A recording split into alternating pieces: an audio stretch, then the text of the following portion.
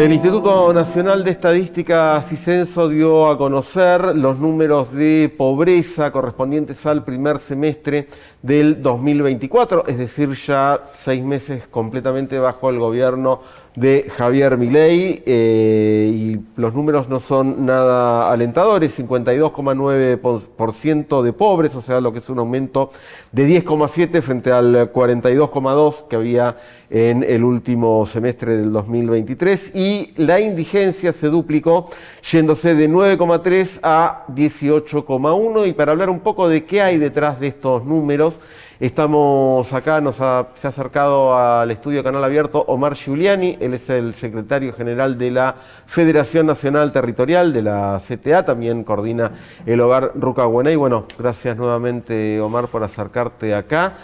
Y bueno, la pregunta es esa, ¿qué, ¿te sorprenden estos números? Eh, bueno, primero, buenas tardes, muchas gracias por la invitación. La verdad que desgraciadamente uno no lo sorprenden, sí lo alarman. Eh, en función de eh, que uno viene observando las medidas que viene tomando el gobierno y por lo tanto era, digo, era, era de esperar que los indicadores de pobreza estén en los números que están. Sobre todo porque entendemos que no es un error de, cálculo por parte del gobierno, no es que no le ha dado resultado alguna medida económica, sino que precisamente esta pobreza es una, pobreza planificada, eh, construida, planificada, pensada, y por ende eh, eh, la necesidad del sistema tiene que ver con generar cada vez más pobres como herramienta de control social. Pero ahí hay, digo, cuando uno da las cifras, que son cifras durísimas, que son cifras alarmantes, lo que hay que entender que atrás de las cifras hay nombres propios hay vidas, hay historias o hay no historias. Eh, historias que quedan truncas, vidas que van quedando truncas. Todos sabemos que eh, los niños o niñas que en, sus en su más temprana edad eh, no reciben los insumos necesarios de alimentación, de nutrientes y, de abrazo y de vida digna, eso va a traer con una gran dificultad en su crecimiento intelectual y su desarrollo. Por lo tanto, lo que están haciendo planificadamente es hipotecar el futuro. Es decir, que haya una porción muy alta de la sociedad eh, que tenga, eh, que se críe, que nosotros decimos eh, un poco en esto que están jugando con el tema de la baja, el encarcelamiento y demás, es nos quieren hacer nacer presos, de que, pobres y crecer presos. Es una herramienta, y yo insisto en esto, digo, es alarmante, eh, es preocupante, estamos ante un genocidio social, pero era bastante de esperar. Em, los números, este número 52, uno lo remite al, creo que en el 2002, en el momento más crudo, en digamos el post-2001, había llegado al 57, una cosa así. Eh, digo, números que, están ahí por, cinco puntos, es levemente inferior. ¿Vos qué diferencia ves entre la pobreza hoy y la pobreza de hace 22 años atrás? Bueno, eh, hay un dato que me parece que es importante traerlo, eh, que cuando se repiten los procesos se vuelven cada vez más estructurales y aquello que uno podría haber pensado que era un momento de la economía, una crisis asociada a una crisis internacional y a una crisis política nacional, eh, producto de, bueno, podemos irnos a la dictadura, implementación del proceso de la dictadura de los 90 y que eso desembocó en, en el conflicto y en la crisis del 2001, hoy ya esa pobreza eh, gran parte de esa pobreza es estructural. Por lo tanto, eh, digo, estamos hablando de que son los peores indicadores en los últimos 20 años. Y esto eh, nos, trae, nos trae a la reflexión, al pensamiento y sobre todo aquellos que tenemos responsabilidades políticas, cuál es el proceso organizativo para revertir esto. ¿no? Digo, me parece que esto, digo, como pensarlo como, digo, como dos puntos. Uno que es planificado y la planificación la quieren llevar no a un momento, sino como un proceso estructural. Digo, en aquel momento la resolución a, la crisis, después en el 2005, 2006, fue la implementación de algunos procesos de acumulación de derechos en nuestro país y hoy lo que vemos es que todo lo contrario, hay un incremento de la pobreza, hay una profundización de la pobreza estructural y además hay un, proceso de destrucción de derechos eh, adquiridos eh, por la pelea, eh, por la calle, por la, construcción organizativa de, la clase trabajadora.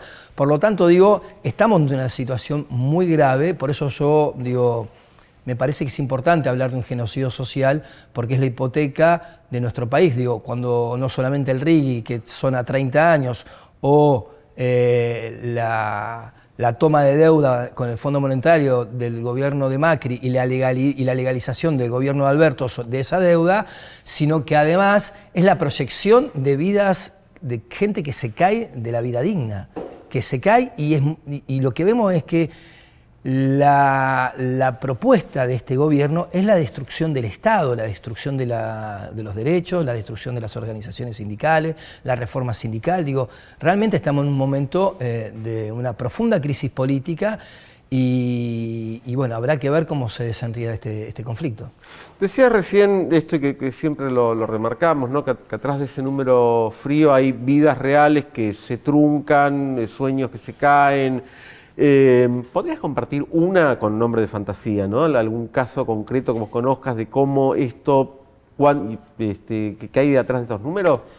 Sí, mira, eh, por ejemplo, nos pasaba hacía mucho tiempo que uno no encontraba algún niño del conurbano eh, que no conociera lo que significa el baño, la utilización del baño, que a uno le parece eh, algo simple, sencillo, si la utilización de un inodoro o alguna cuestión que son cuestiones de higiene, eh, y eso habla de una pobreza estructural, habla de, eh, de, una ruptura de sueños colectivos, de una ruptura de sueños de, de estar mejor, de poder vivir bien, y habla de una instancia de cómo nuestros pibes transitan sus, sus primeras infancias, de una primera infancia que lo construye social, cultural y políticamente para, el devenir de su vida.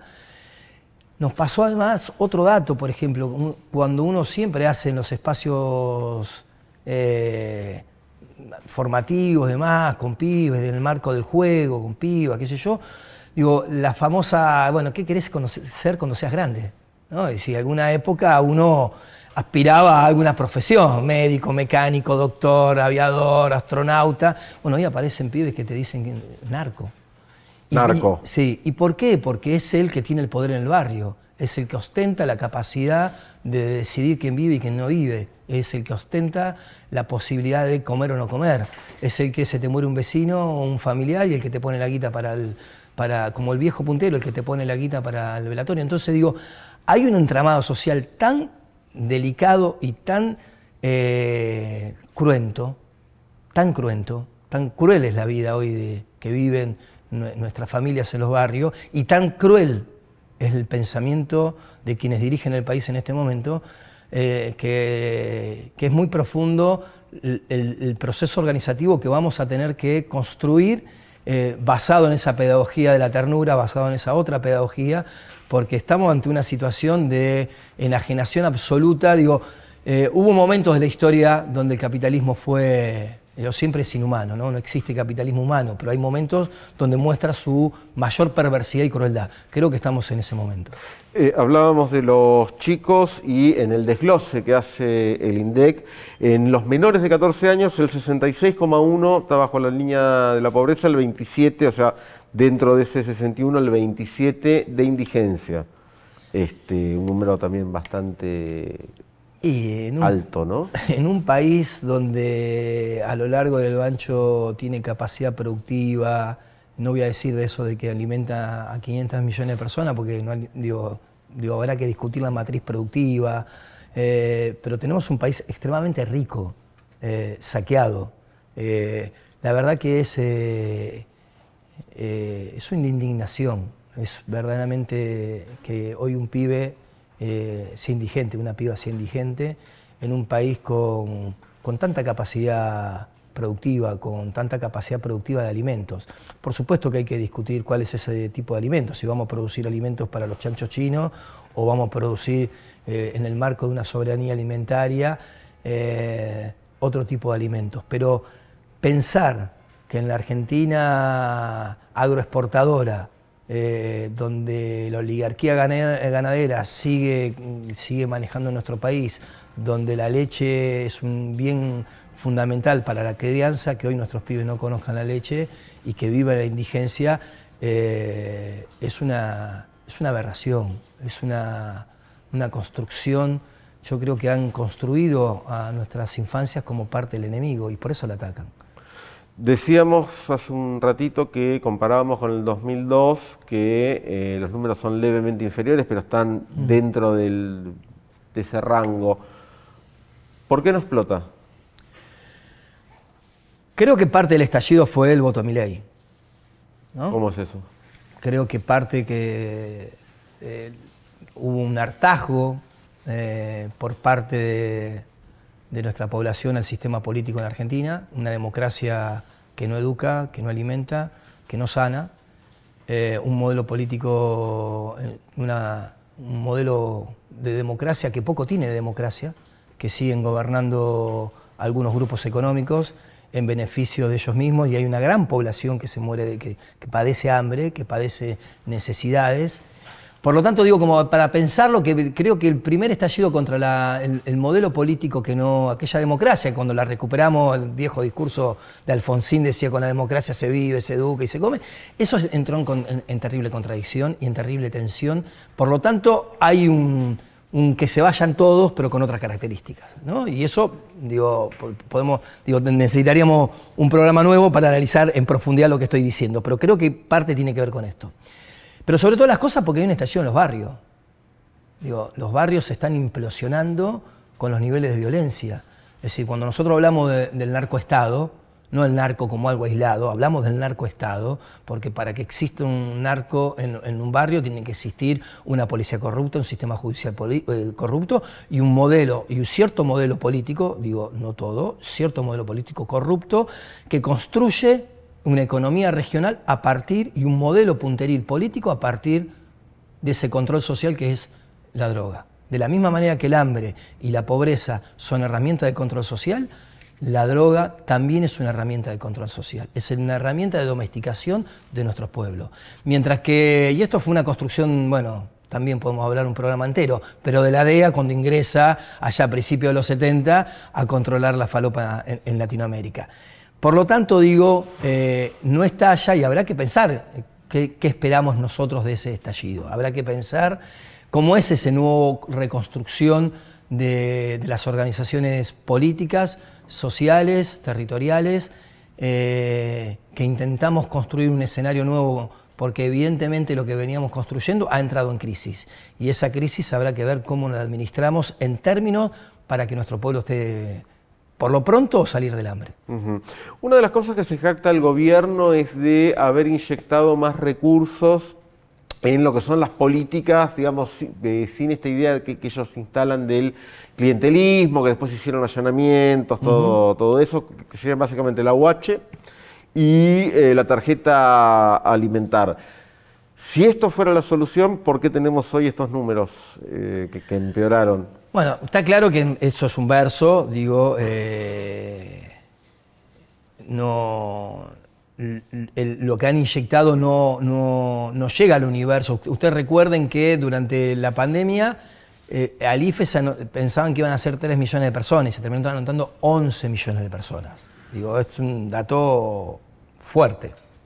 Por lo tanto, aquel, tanto la tarjeta alimentar como el OH, que son dos buenos instrumentos, paliativos, pero son muy, digo, la OH no es un paliativo, es una, herramienta de universalidad de derecho que me parece muy importante, no tiene todo el universo, no alcanza todo el universo. Por lo tanto, digo, por eso eso no se ve reflejado en, los datos de, de, pobreza en nuestro país. Pero sobre todas las cosas, porque en realidad lo que quisieron hacer es sacar del medio lo que ellos decían a los intermediarios, que era romper la organización territorial, que era romper la organización política. Porque si, además, vos me das recién con el tema del estallido, yo digo, si uno toma como dato, digo, no hay estallido, pero hay mucho conflicto. Si, si vos vas, hay muchos conflictos sectoriales. Y esos conflictos sectoriales van acumulando en un proceso eh, político que habrá que ver cómo, cómo, se sigue, pero que a medida que va pasando el tiempo, vos vas a encontrar eh, aeronáuticos, docentes, eh, territoriales, estatales, digo, hay eh, un hay una cantidad enorme de conflictos eh, sectoriales que tendremos la responsabilidad política de ver cómo eso se va unificando en, una respuesta mucho más eh, global, abarcativa en nuestro país. Bien, me comentabas antes de empezar a grabar que estaban, desde la FENAT estaban trabajando en un fondo de emergencia alimentaria. No sé si podés adelantarnos algo. Sí, ahí estamos con, vos sabés que la FENAP forma parte de Territorios en Lucha, que es un nuevo grupo de organizaciones territoriales que conformamos. Estamos elaborando, un, para ser presentado dentro de muy poco, poquito tiempo, eh, un proyecto de ley que, para crear un fondo de emergencia alimentaria, que ese esa eh, fondo de emergencia vaya a parar a los diferentes espacios comunitarios, tanto comedores, merenderios, eh, clubes de barrio, eh, con un nuevo registro, y que esos fondos sean sacados precisamente de, aquel, eh, de las grandes, del impuesto a las grandes fortunas, de, de, la devolución de los aportes patronales y de una serie de números que por lo menos sería para paliar el hambre en primera instancia. Omar, te agradecemos muchísimo por haberte acercado acá y bueno, será hasta la próxima vez. Muchísimas gracias a ustedes a disposición.